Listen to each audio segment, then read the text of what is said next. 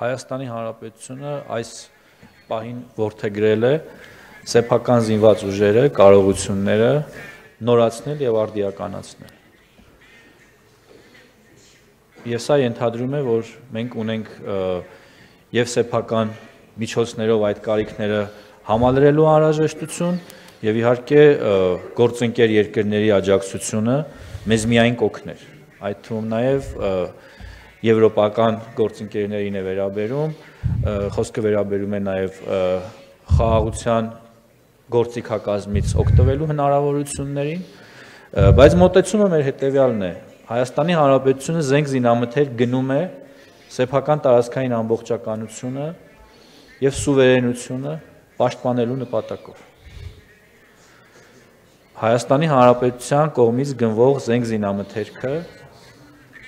ուղված չէ որևէ երկրի նկատմամբ ագրեսիայի։ Իհարկե չեմ կարող հերքել, որ կա վտանգ։ Եվ այդ վտանգը տեսանելի է արկա հռետորաբանությունից։ Եվ մեր պարտավորությունն է պաշտպանել մեր երկրի տարածքային ամբողջականությունը, մեր երկրի սուվերենությունը։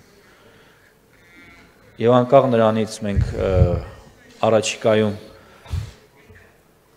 խաղաղության պայմանագիր կնքելուց հետո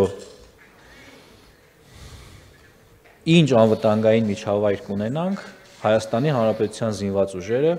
շարունակելու են պաշտպանական զենք զինամթերքի գնումը եւ մեր այսօրվա ստորագրած պայմանագրերը հենց դրա մասին են։